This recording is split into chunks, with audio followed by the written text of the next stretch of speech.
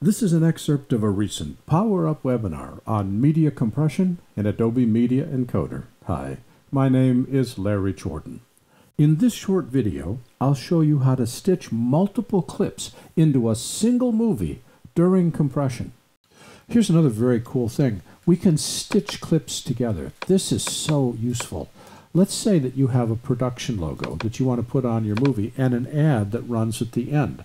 Rather than have to open up Premiere and add that production logo to every movie and add that ad to every movie, instead select the logo inside the media browser, then select the first movie, then select the second movie, and drag them as a group into the queue, but don't just simply drag them in, drop them on top of the Stitch Clips button. And what AME does is it now combines those three movies into a single movie without you having to do anything. This saves so much editing work when you want to have a, a front animation, a tail animation, and not have to edit them inside Premiere because it's just a waste of time. Now the quality of this logo is pretty low because I couldn't find the high-res version, but I did want to show it to you.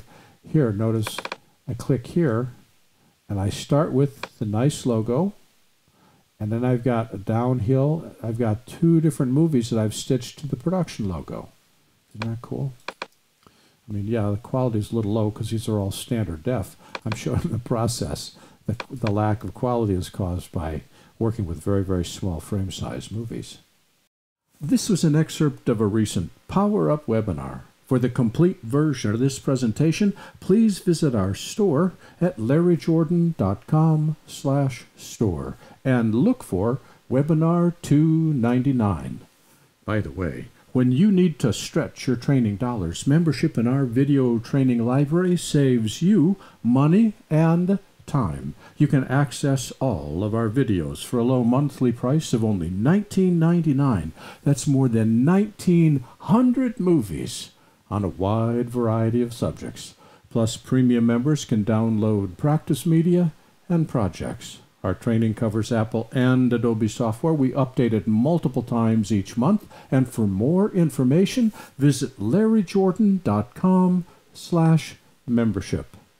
And thanks.